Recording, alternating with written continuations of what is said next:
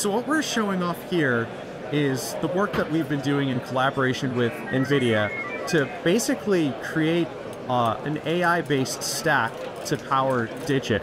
This is a whole body local manipulation policy. So that's everything from the hands and feet all in one controller that we trained in Isaac Lab uh, to control all of the motion on the robot and do these types of joint local manipulation tasks, like being able to simultaneously take a basket, take an item, put the item in the basket, all while moving around to the different heights on the shelving unit, where we can crouch down low, we can get up high, we can look at different stuff.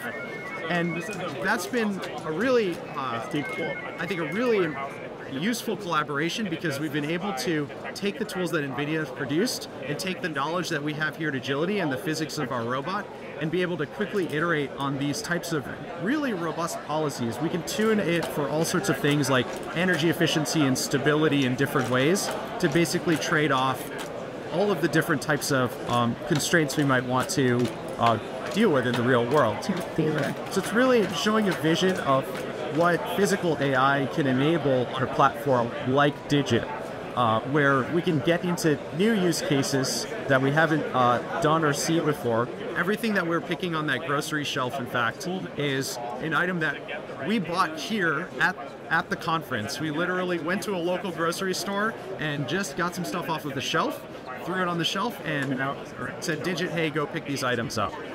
Uh, so that's uh, that's over here to, to show. It's uh, pretty pretty well received. Right. Let's go. Yeah.